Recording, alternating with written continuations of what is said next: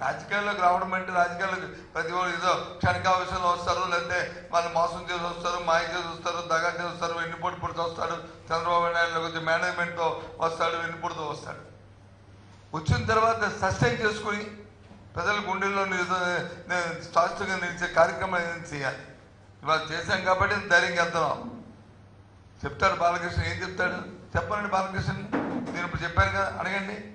ఏమయ్యా నువ్వు నీ నీ బావమరిది కలిపి ఏమి ఏ కార్యక్రమం చేశారు? ఈ రాష్ట్రానికి చేసిన సేవ ఏంటి? ఉద్ధరించింది ఏంటి? అసలు నేను అడుగుతున్నాను.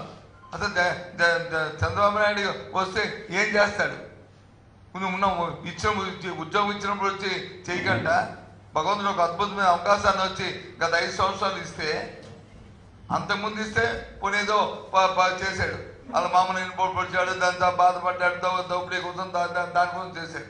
గత ఐదు సంవత్సరాలు ఏం చేశాడు? పుట్టిన బిడ్డలు వచ్చి పాలించి పెంచుతాను నాకు అనుభవం ఉంది నాకు అవకాశం ఇమ్మని నేను ప్రదర్శిస్తే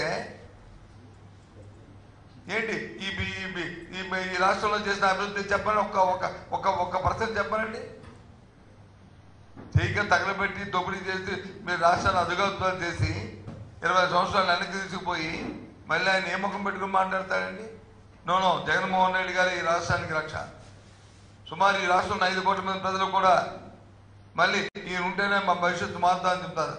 ఇవాళ రెండు రెండు లక్షల కోట్లు వచ్చి డిపిటి ద్వారా నవరత్నాలు ఇవ్వబట్టే ప్రజల్లో కొనుగోలు శక్తి పెరగబట్టే ఇవాళ వచ్చి రాష్ట్రం తాలూకా జీడిపి భారతదేశంలో ఆంధ్ర రాష్ట్రం మరి మెండగా ఉండడానికి కారణం.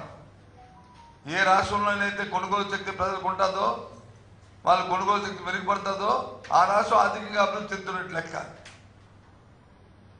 ఆ మాత్రం ఆవ- ఆలోచన లేదా? పోనీ అర్థం చేశాడు అప్పుడు. ఏంటి ఉద్ధరించాడు చెప్పనండి?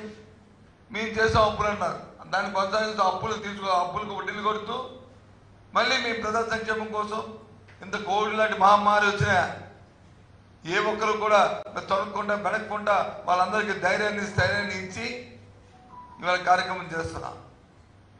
ఇది రాష్ట్ర ప్రభుత్వం తాలూకా కార్యక్రమాలు. మా ప్రాధాన్యత విద్య వైద్యం వ్యవసాయం సంక్షేమం. ఈ నాలుగు స్తంభ నాలుగు ఈ నాలుగు అంశాల మీద ఇవాళ ఈ రాష్ట్ర ప్రభుత్వం జగన్మోహన్ రెడ్డి గారు తనకు ఆలోచన తపన. ఆ కార్యక్రమాన్ని ఇవాళ తూచా తప్పకుండా చేస్తున్నాం. ప్రతి దానికి ఒక కార్యక్రమాన్ని రూపొందించుకుంటూ కార్యాచరణ చేసుకుంటూ ప్రజల్లో ఎక్కడ కూడా దీంట్లో ఈ కార్యక్రమం అలసత్వం లేకుండా చేస్తున్నాం. అందుకనే వెళ్ళిపోమంటున్నాడు ఈయన. ఈయన ఉద్యోగం ఉన్నప్పుడు ఉద్ధరించింది చెప్పండి?